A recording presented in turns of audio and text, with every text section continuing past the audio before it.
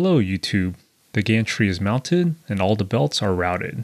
The next section is the Stealthburner install.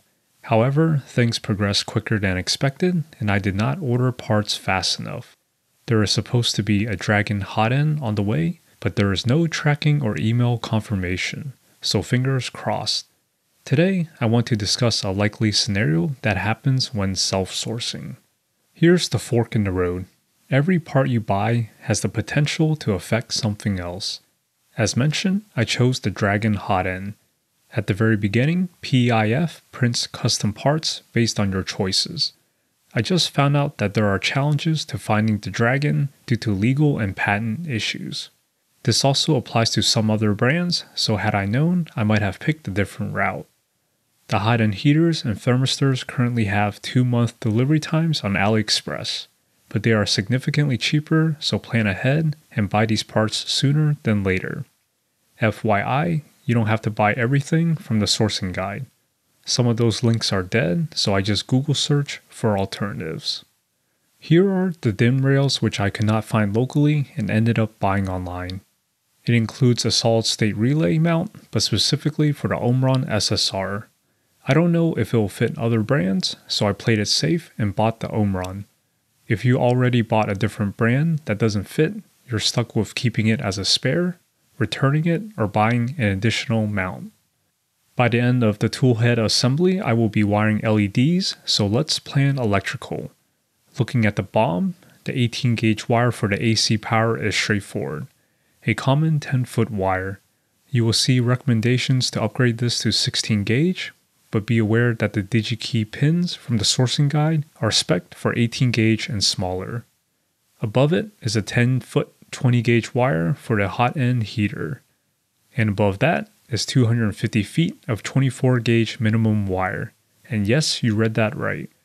If you build to spec, there are roughly 18 wires that go from the electronics bay to toolhead. This provides power and signal to the hot end, fans, heater, thermistor, extruder motor, and inductive probe. All of this is routed and secured via cable chains, which is the default method. Plan carefully before buying. Even though 22 gauge wire is listed, people have better luck cramming the smaller 24 gauge wires inside those chains. Here's the downside. Even if you use high flex PTFE wire, all that movement and rubbing can damage wires over time. A second option is to use a toolhead PCB to break out the electrical connections, which allow easier servicing of the toolhead. The PCB is included in many kits and is a documented option in the assembly manual. It combines the reduced number of 14 wires into a single cable, but that's still a lot of wire that could break somewhere along the run. A third option is CAN bus, which reduces the number of wires down to 4, and is the same system found in cars. It may not prevent wires from snapping, but troubleshooting 4 wires is easier than 14 or 18. Because of this reduction, many opt to scrap the X and Y cable chains in favor of the umbilical setup. This requires relocation of mechanical end stops and printing supporting parts. These parts are not included with PIF, so unless you find and pay someone, you're stuck without a spare printer. At time of filming, CAN is relatively new, so expect to dig around for install and setup information. These are big decisions, especially if you spend time and money to route 250 feet of wire just to scrap it all later should something break, and you decide to change the setup. Unless you buy bulk, it's not easy to find PTFE wire for a reasonable price. The choices don't end here. For example, if I look at a CAN style toolhead PCB, they come in one and two piece designs, each with their pros and cons. There is also a max 31865 option. What the hell is that? Well, time to Google and research. While looking things up, you will often stumble on more unfamiliar topics. Remember, I am a beginner, and this series is for beginners. I am constantly learning, so I don't waste money buying the wrong things or stuff already included somewhere else. Example this BAT85 diode I already bought is actually included on some toolhead PCBs. I did not know that until now. Those boards may also include the ADXL345 accelerometer used for input shaping. That piece is usually bought separately when following the BOM. Going back to my custom sourcing sheet, I have bought everything highlighted orange. I did not buy the Octopus controller or drivers yet.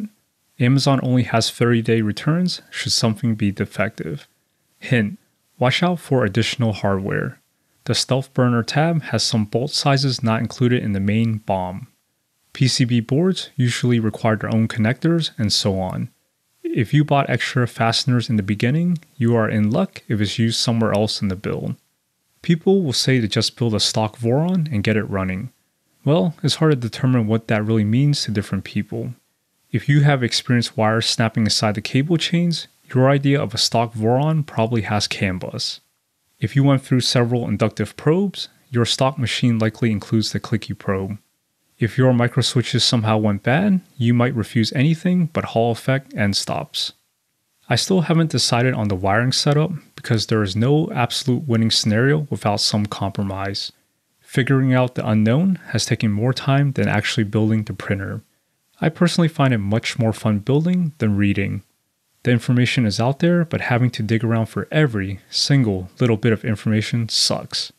That's just the nature of open source and tough luck, because when you don't read or follow directions, shit happens. And that's where this project will get you any lack of attention to detail. Nothing so far has been complicated to build. The frame, for example, was one of the easiest things to put together. But if you flipped it wrong, didn't square it, kept building, and just found out now, you are in for a world of hurt look at everything that needs to be removed and redone. While not difficult, it just wastes time. Speaking of which, I am well over the 40 hour assembly time commonly thrown out there, but this includes research, filming, editing, etc. What I do like is the opportunity to learn new things. I now know what bearings do, the difference between an idler and drive pulley, differences between PT100 and PT1000 thermistors, things that I took for granted before. So if you're on the fence about doing this project, just go for it.